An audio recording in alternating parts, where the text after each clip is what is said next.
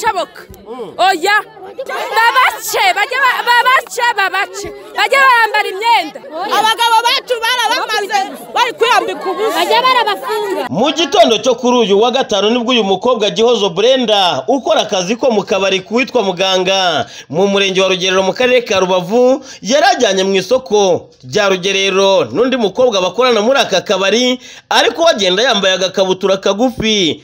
Ngo ageze muri iri soko atangiye guhaha yunamye ni bwo bamwe mu bagore bakorera muri iri soko ngo babonye ko yambaye ubusa. Bamuha igitenge cyo gukenyera ngo aracyanga. Uriya mukobwa aje mu isoko yambaye ubusa. Ni izina ry'imana. Mbese bifite bibateye ikihe kibazo uko yambaye? Ari kutwandagaza mana yanjye. Ari kutwanda ajya ashoboye yambaye ipataro. Icyo mwita kubandagaza ni iki? Kutwambika ubusa. Bino hari aho bigaragarira. Agiye muri dushe se. None. Wabona ari ratako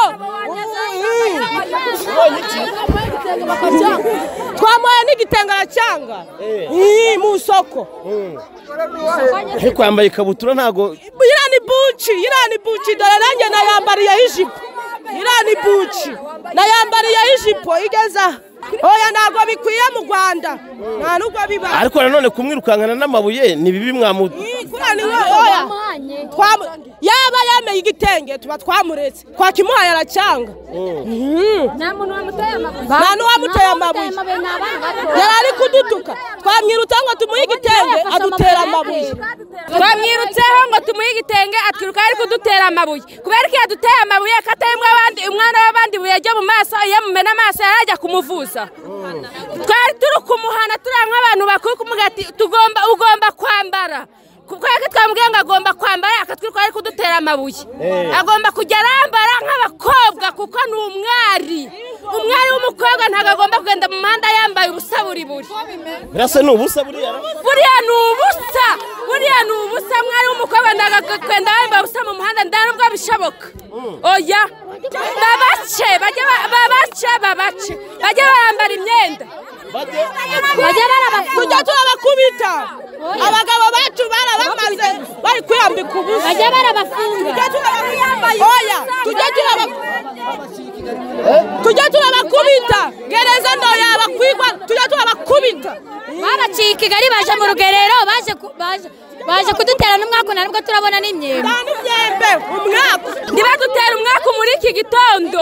Baratuma ni ukuri ko imana aratumagiye aratumagiye. Ndani imari turabona. Ibyatumye bafatwa n'uburakari. Bamuvuza inkamba z'amabuye. Ubundi afumyamo ariruka abandi baturage bamwirukaho n'imijugujugu ndetse n'inkamba z'amabuye. Aha habaye ngombwa ko dutabara nk'itangazamakuru. Abaturage turabakumira muri ubu buryo. Wewe mureke mureke mureke mureke mureke mumureke mumureke mumureke mumureke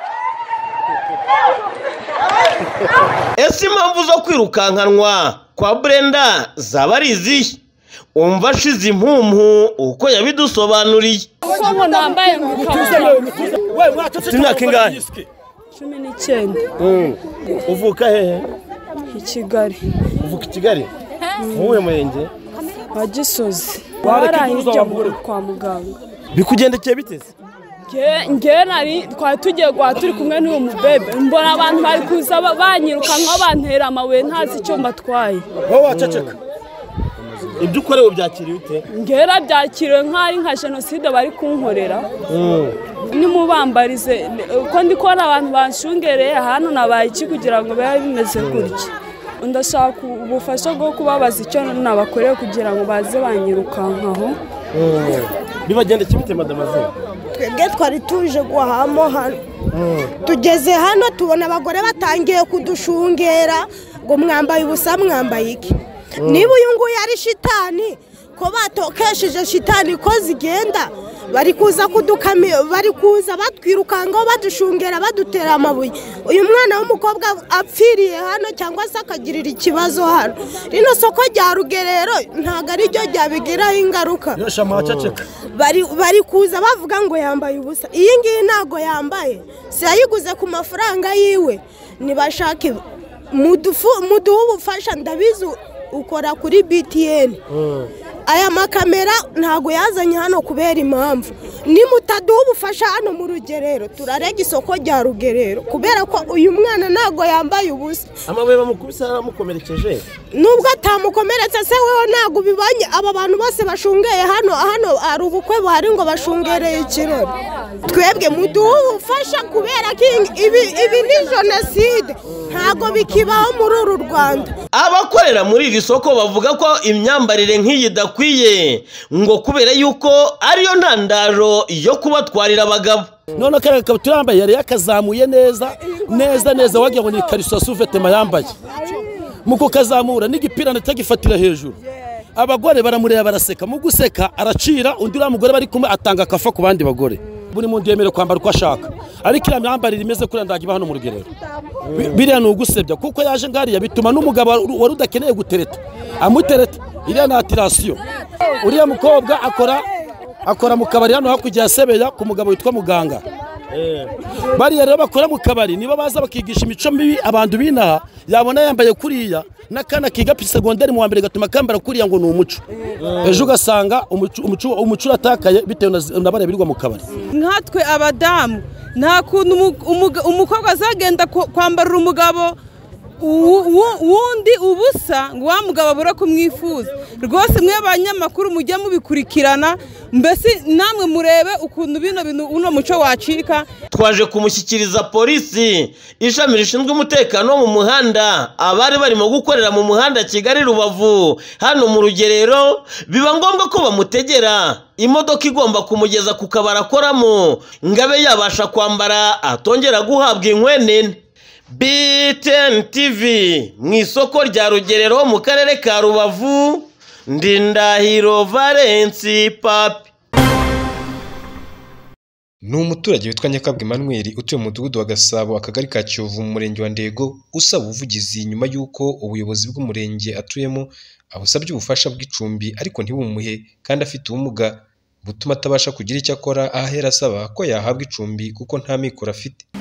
Ikibazo uko cyanjye ukuntu gihagaze narerewe muri uriya murenge wa ndego ababyeyi barantoraguye mu bihumbi icyenda karindwi duhungutse bavuze ngo bazane imfubyi umuntu wese wataraguye imfubyi yayizane azanye yashyikiriza ubuyobozi bwanga ku- bwanga kumuhereza ubufasha kubera ko nta mafaranga yari afite abatangaga amafaranga bose barabubakiye ni ngewe wari usigaye bakomeza ngenda kubibaza bakajya bansuzugura bakajya bansuzugura ubuzima buranga bumera gutyo niyo mpamvu nanjye hano kugira ngo bamfashe mbere ko narangamirwa iyi mbere itoroshye kandi yemezwa n'abaturanyi be aho nabo bavuga ko ubuyobozi bwamurangaranye bagasaba ko yahabwa ubufasha. Ubuyobozi kuva tugeze ino twarabusabye. Ariko tukabona ntabwo babishyira mu bikorwa nta muntu wigeze kwitaho rwose. Kugeza ubu nawe ahakuriye ari we uriho yiyegerera ubuyobozi abusaba. Ubwo rero umwana wacu natwe namufashe mu bushobozi nari mfite nta bundi ngifite ubu nyine asigaye ari uwa leta. Leta niyo yashaka ubufasha ikamufasha nanjye nakwishima. Mpagarariye abafite ubumuga mu murenge wa ndego nyakabwa rero muzi ari umwana muto afite ubumuga atagira ababyeyi arerwa n'aba babyeyi ba hano arakura rero aba mukuru ariko urumva yabayeho nabi afite n'uburwayi yifuje kugera aho yabonye akazi. Unagiye iyo ngiyo ariko agaruka ari gushaka ko bamwubakira ariko ni na ngombwa arabikwiriye kuko nawe ni umuntu uharanira uburenganzira bwe bw'abafite ubumuga kandi akeneye gufatwa nyine ni ibintu natwe tugomba gushyiramo imbaraga bakamushakira ubuvuzi.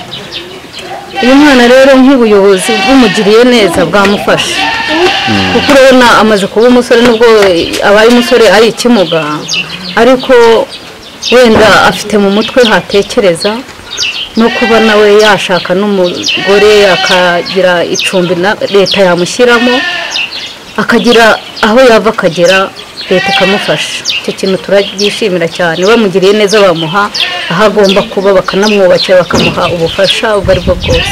Twamubaye hafi rero? Mu by'ukuri uyu mwana arateseka.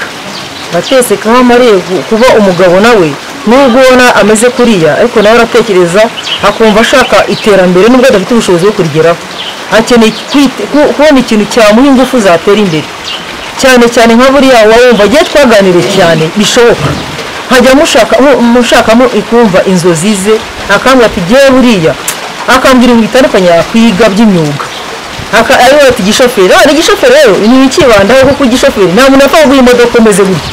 Naho ubwo nkamubwira nawe ubwo wakwiga wenda ibijyanye no kudoda inkweto zanze gukora inkweto ukiga ibijyanye mbega n'ibintu ubona washobora nk'ubushobozi bwawe wakora uhamye hamwe cyangwa kumenya byinshi kuri iki kibazo n'impamvu uyu muturage ataha ubufasha nyamara ari mu cyiciro cy'abatishoboye umunyamabanga nshingwabikorwa w'umurenge wa ndego bizimana claude yavuze ko amaze iminsi mike amenya iki kibazo cy'uyu muturage ngo gusa akaba yarahise amushyira ku rutonde rw'abagiye gufasha uwo mwana yitwa nyakabwa emmanuel ikibazo cye narakimenye ariko mu kukimenya hashize icyumweru kimwe yakingejejeho ikibazo rero twaracyakiriye kandi ubufasha yasabwe twamuhaye inzira y'ukuntu uh, bwazabonekamo tugeze muri kimwe cya kabiri cy'umwaka bigaragara ko ubufasha aho tugenda tubusaba bugeze kure ariko ku bimwerekeyeho twavuga yuko uh, mu kwezi kwa gatandatu ko tuzaba turimo gukora porofayiringi nshya ari bwo tuzamushyira muri porofayiringi nshya y'abazafashwa